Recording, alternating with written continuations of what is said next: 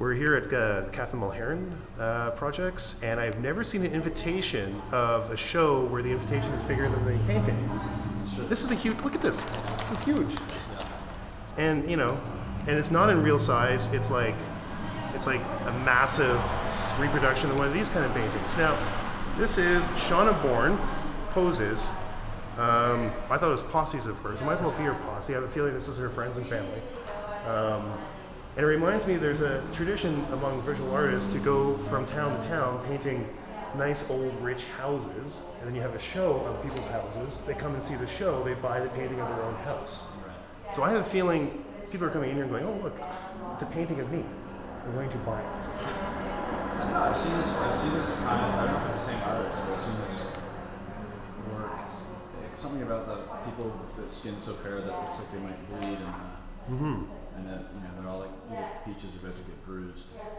So like tenderness. All I've seen it before, and it's, it seems to be very popular with people. And I don't know. if It's like the vulnerability of the of the. You know, everybody else looks like they have a story to tell you. you know? They do look like they have a story to tell me. Now, I, I don't know, I like it. It's not, I feel like it's not for me, but uh, it's interesting. Yeah, it's, it's, it's style over substance in a way. Um, these look like I don't know how to describe bruised meat socks. Like there's a. I mean, if you look at the detail, the actual painterly painting of this is is really nice. I mean, look at her hair. Yeah. was like large brush strokes. It doesn't pretend to be something else. It's very energetic and dynamic.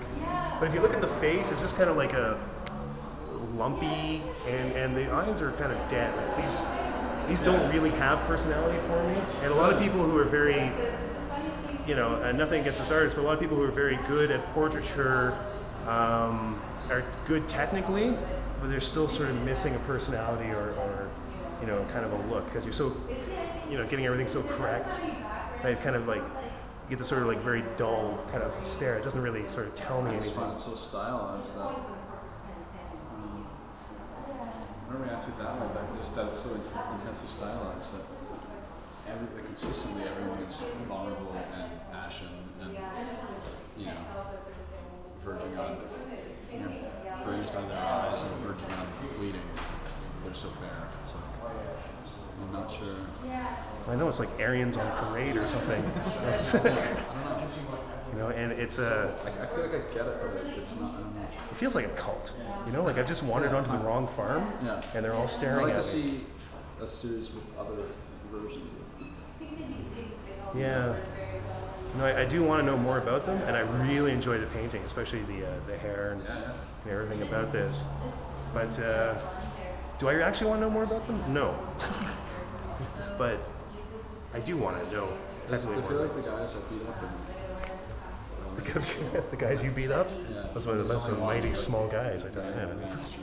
Look at That the was a bully basically. look at that. I mean, that's just that's just lovely. I mean, I could technically stare at this, except for the face, and it's just it looks like a it looks like a wooden puppet. You know, it's, it's like their their mouth should clack as someone like you know controls them talking. It's just and, and it could be the greatest compliment that it's unsettling to me, or that they're just kind of missing missing life force or something. the uh, forget what it's called, but they did a study about that where they found that if you design a robot that looks too much like a human but has a few fatal flaws, it freaks people out to the point where they don't want to be near it. Yeah. But if it, you take the same robot with all the same programs and make it look like a robot, so it's okay.